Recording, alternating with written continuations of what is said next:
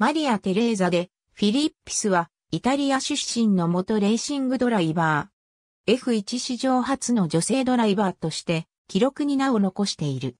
兄弟と自動車で競い、勝った経験からレースに興味を持ち、足を踏み入れる。スポーツカーレースで活躍し、1955年よりマセラティの公式ドライバーとなる。1958年、ノンタイトル戦である F1 シラクーザ GP 参戦し、5位でフィニッシュ。その後、自身が所有していたマセラティで第2戦モナコ GP に出走し、初めて F1 にエントリーした女性ドライバーとなった。この際は予選落ちとなったが、第5戦ベルギー GP にも参戦すると、予選を19位で通過し、F1 デビュー。決勝でも10位完走を果たしている。その後、第9戦ポルトガル GP、第10戦イタリア GP にも参戦し、共に予選を通過。